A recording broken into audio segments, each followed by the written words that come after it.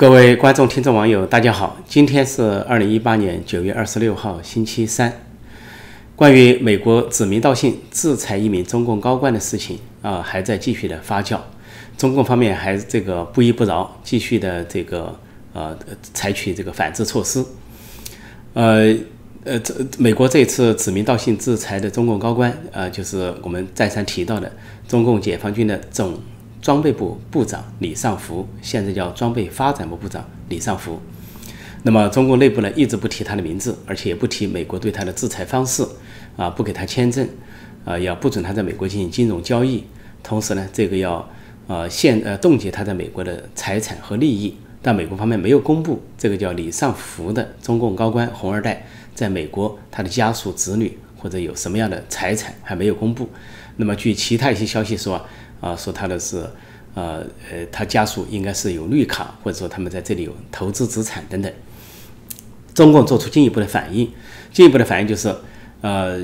呃，不同意美国的军舰啊，大黄蜂号停靠香港，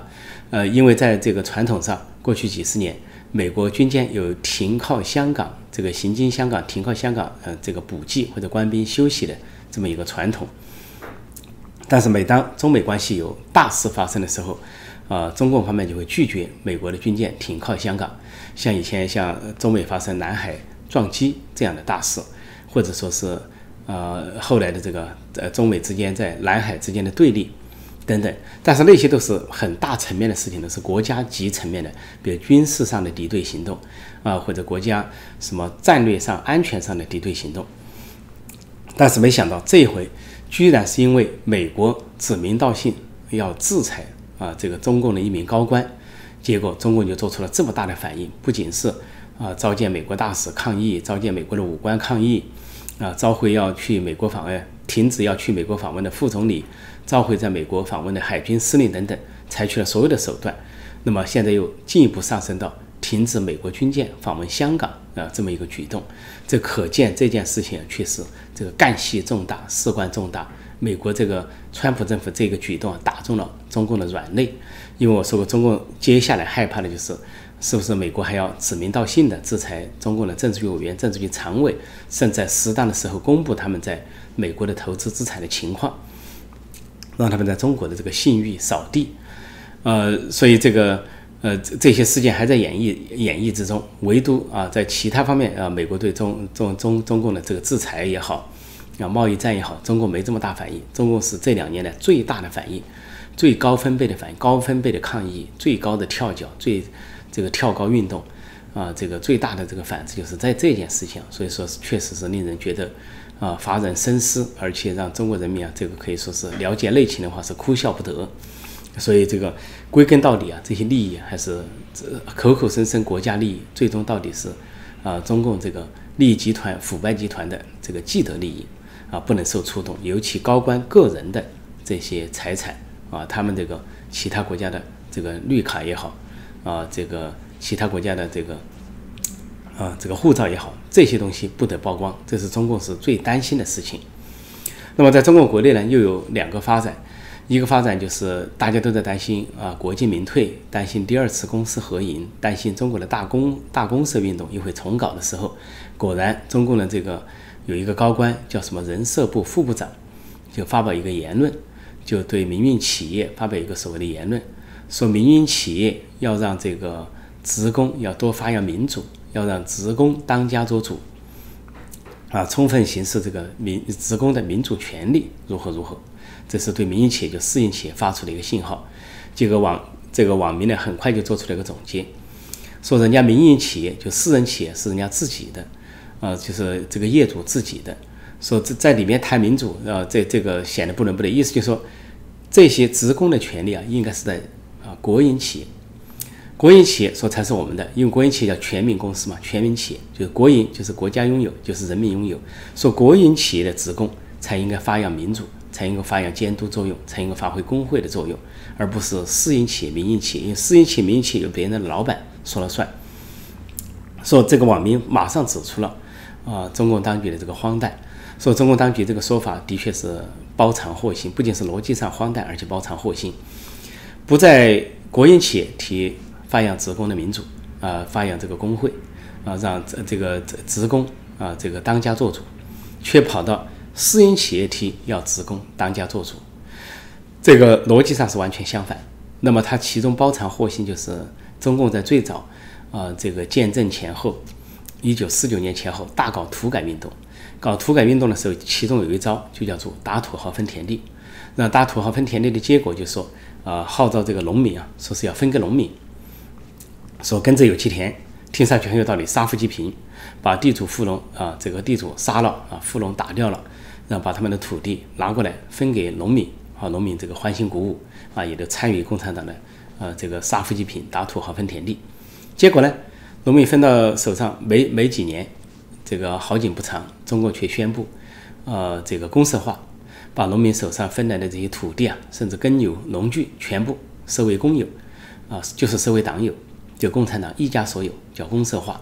说实际上就是一个大忽悠，一个大骗局，让人民这个空欢喜一场。最后农民是一无所有。不仅地主富农被消灭掉了，农民自己也变得一无所有了，比以前还不如。啊，这个以前如果还能够，呃，当这个什么佃农，还能够租地来经营，或者说跟只简单的关系跟地主或者富农之间的关系，现在变成了一无所有，由这个党支配一切那么一个，呃，一个命运。说这就是当年中共的大忽悠，在城市里搞的这个公私合营，呃，搞的这个这个。先是资本家自己交出去，后来是这个，呃，呃把把资本家打掉，然后这个这个化私为公，呃，把变成国有，变成党有，在城市里也是搞这一套。那么今天实际上是这个旧戏重演，过了这么七十年，啊，七十年左右又重新来了，公私合营，说这个中共的所谓人社部这个副部长所发出的信号就是这样，打着民主的旗号反民主，打着这个让职工参与，让职工当家作主。让这个职工来参与民主，来夺取私营企业，夺取私营企业之后，就宣布啊，设为国有公有，比如说宣称这个是集体所有制或者全民所有制，实际上就是国有化。说中共正在这个搞这一套啊，新的公私合营，那这个不是一个危险的信号了，是在付诸行动。所以是实际上是旧戏重演，而这个旧戏重演在文革中也演了一套，毛泽东演的非常的这个可以说是传神。他演什么呢？他当时为了夺取刘少奇，因为刘少奇当时是共产党内的实权人物，国家主席，掌握了从上到下的这个党政干部、党政系统。也就是说，这个各省市的党政系统，大多数啊，就是按照权力斗争的角度来讲，都是刘少奇的人。啊，中央各部委也都是刘少奇的人，因为刘少奇在一线主政，毛泽东是退居二线做党主席挂名，这个刘少奇呢做国家主席有实权。结果毛泽东为了打倒刘少奇，就来了一招。啊，这个造反派红卫兵，这个造反派就干嘛呢？就这个叫踢开党委闹革命，就到各地去夺权，各省市夺权，号称这个把权力掌握在人民群众手上，号称这个呃，到一九六六年之前的十七年都是资产阶级专政，不是无产阶级专政。也就是说，刘少奇是说中央出了两个司令部，一个无产阶级司令部，毛泽东号称是他，而另外一个资产阶级司令部是刘少奇领导的，是为了把刘少奇打倒，打倒这个司令部。就号召民众啊到各地去造反。这个后来这个王洪文在上海这个工人领袖啊就这么造反上来的，后来当了军委副主席，后来是四人帮的一个成员。这个造反就是把地方成立革命委员会，当地的造反派啊这个当上所谓革委会主任或者副主任，然后结合的这个毛泽东派去的人啊派去他信得过的人，这个结合起来什么革委把这个省委省政府啊相当于废掉。变成了一个，呃，各省的革命委员会、革委会，比如说湖南省革委会或者黑龙江省革委会。这个革委会，这个一般来说，革委会主任是毛泽东派去的亲信，这些副主任就这些造反派担任，去宣告夺权成功。这个当时在六六年到六九年的是夺权成风，就是民众运动、群众运动。这个群众运动是不是各地政府就真被群众所掌握了？根本不是那么回事，仍然被不仅被共产党所掌握。而且是被毛泽东一人所掌握，就是表面上给你一个啊民主权利啊，让你去这个把权力掌握在民众手上，结果这个大忽悠结束了，就跟土改的大忽悠一样，公私合营的大忽悠，说文革也来了这么一个大忽悠，是天大的忽悠，革委会建立了，人民反而退场了，这个号称毛主席的无产阶级革命路线取得了伟大的胜利，然后这个对那些不听的造反造反派头头，呃，投入大牢，包括红卫兵的五大领袖，然后对那些继续要这个闹事的、真正要想行使民主权利的，什么红卫兵、造反派等等，以这个上山下乡的这个为由，打发到农村，这个把这个城市啊净化一空。然后毛泽东宣布文化大革命已经什么八年，现在全国要安定啊，全党全军要团结，也就是说，权力斗争取胜了，刘少奇那派打倒了，从上到下啊，通过这个煽动民众造反，然后现在民众的使命结束了，你们该干什么干什么去啊，权力归共产党，权力归毛泽东一人。所以说，从土改到文化大革命到今天这个人设不能放风，共产党的思路没有改变，还是那一套思路，还是这个。呃，就挑起群众斗群众，利用群众啊斗群众，啊这个打土豪分田地，杀富济贫，最后是把这个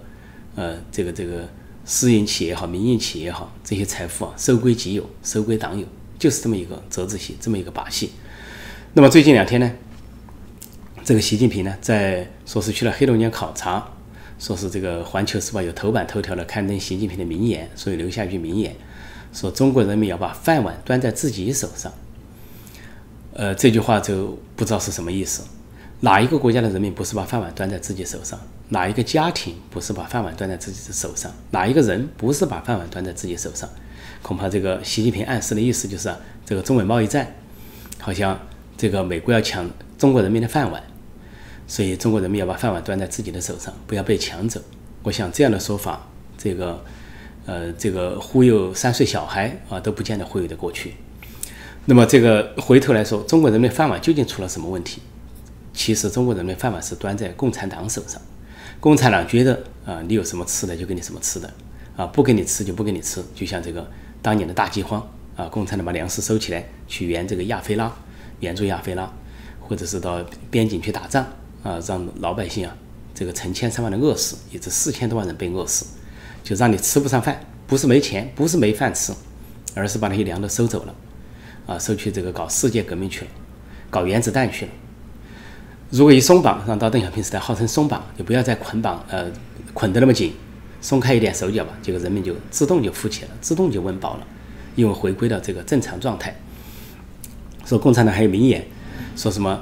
原先这个原先骂过老百姓的一句话叫做。骂老百姓呢？提意见的老百姓叫做端起饭来吃肉，呃，端起碗来吃肉，放下筷子骂娘，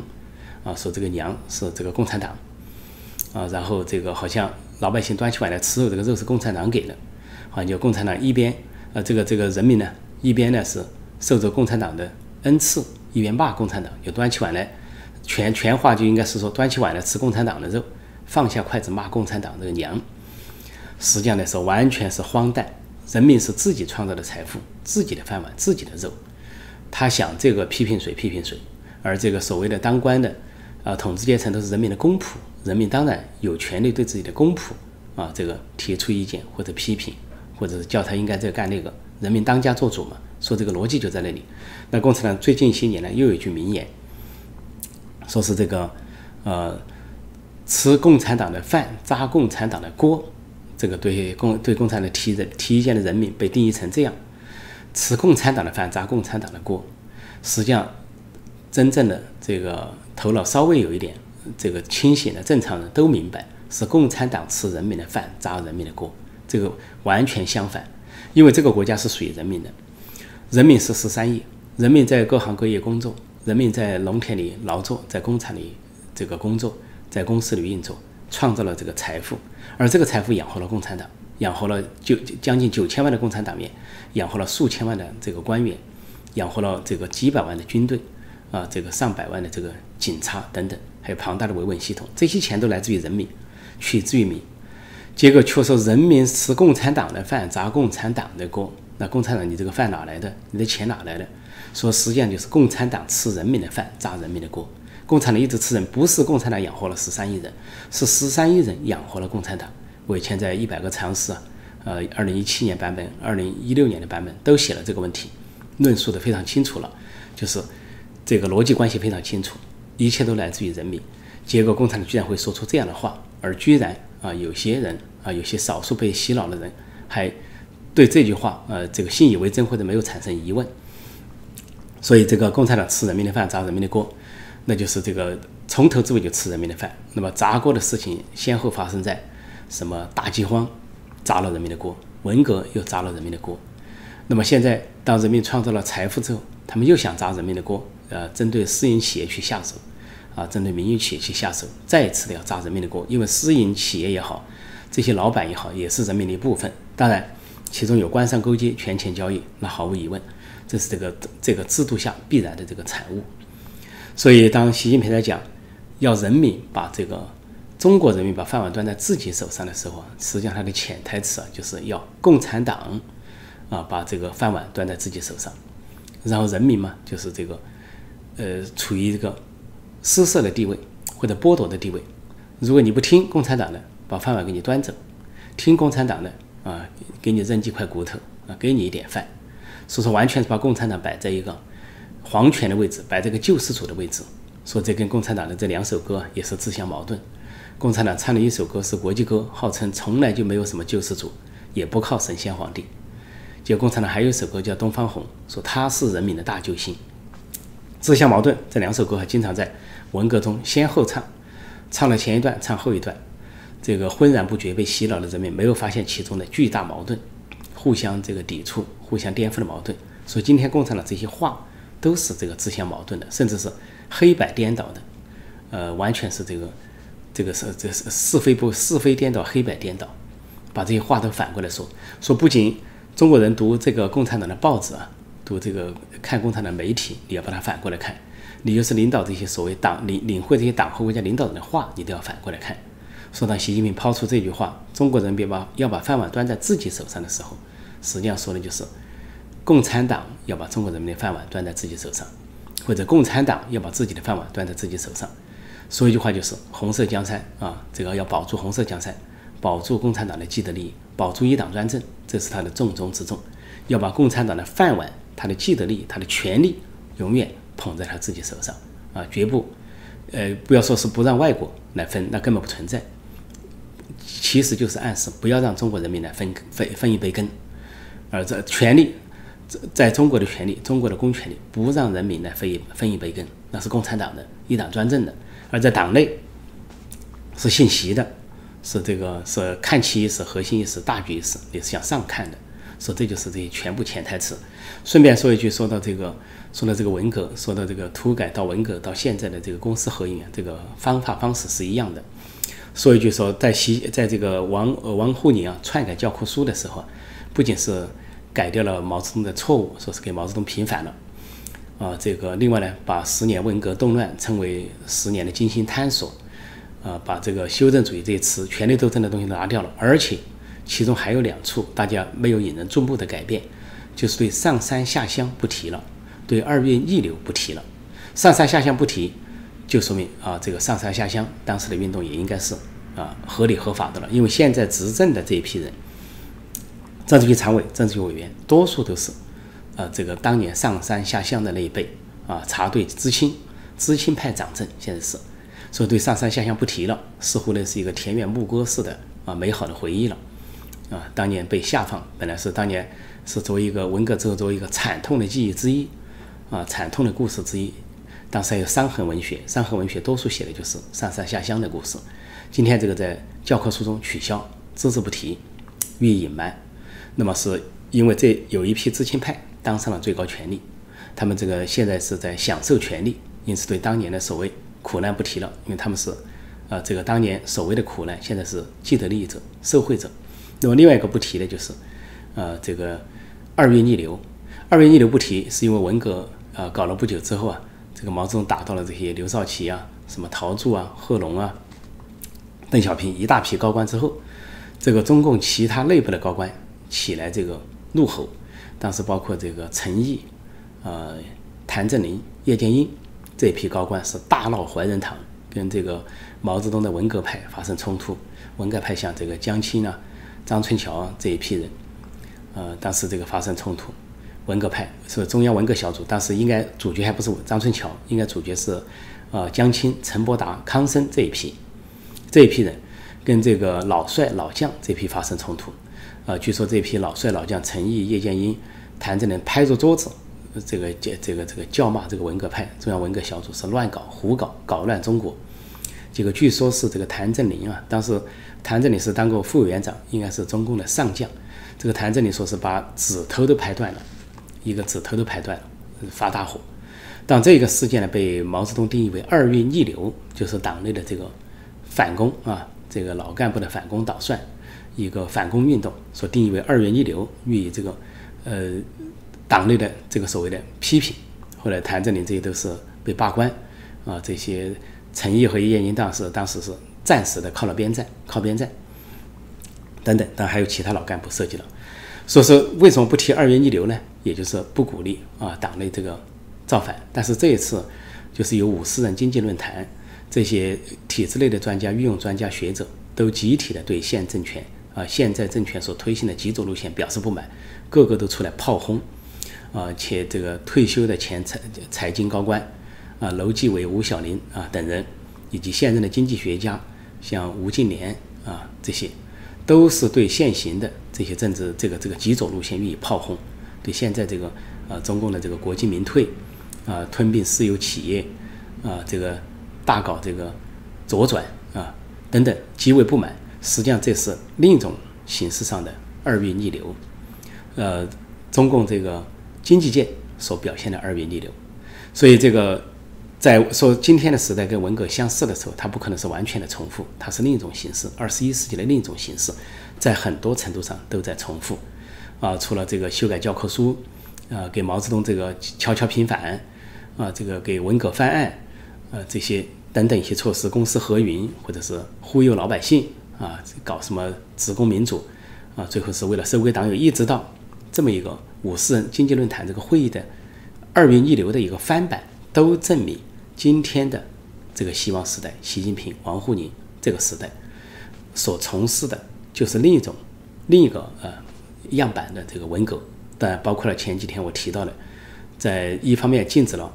呃这个外国这个这个这个挪威剧作家易卜生的这个名作《人民公敌》在北京的这个啊北京的上演受到干扰，在南京的上演被停止，中德文化交流。那么同时，南京要推出。文革的呃八个样板戏之一，革命样板戏江青的杰作《红灯记》要这个粉墨登场，那么正在这个筹备，就要在中共的这个所谓国庆日之后，或者是中国人民的国殇日十月之后，就要粉墨登场《红灯记》，这是一种象征，这是对文文革的这个文革死灰复燃，以另一种形式粉墨登场，文革的幽灵粉墨登场，啊，在二十一世纪的中国舞台上粉墨登场的一个标志性事件。说这一切都证明，这个今天的这个当局所推行的，的确是一条极左路线，的确是文革翻案的，啊，这个二次文革的这么一个路线。所以以前的这些人说想不到文革会卷土重来，现在人们无可奈何的看到，在另一种形式上，文革就在重来。而不管不要说普通人想不到，就连当年的所谓邓小平、陈云这批中共元老否定文革的中共元老，恐怕他们做梦都想不到，他们所选的接班人。靠得住的所谓太子党红二代，就把他们所否定过的文革，啊，就否定之否定，再来一次。所以这个他们没有想到，这个习近平会这么干，也没有想到一个来自上海的另一个王沪文式的人物，另一个张春桥，另一个姚文元，啊，王沪宁干这么干，啊，这个王沪宁觉得前面的陈伯达、张春桥、姚文元没有干成的事业，啊，这个几种路线他要继承。就好像在国际上，这个中共觉得纳粹德国没有干成的事，军国主义日本没有干成的事，这个苏联红色苏联没有干成的事啊，对抗文明世界的事，中共要来继承，再试一把。同样道理，这个这这个这个陈伯达没有干成的，张春桥没有干成的，姚文元没有干成的，这些御用文人没有干成的，王沪宁想试一把，说这就是今天中共政这个中共党内中共高层的基本政治生态。好，我今天就暂时讲到这里，谢谢大家收看，再见。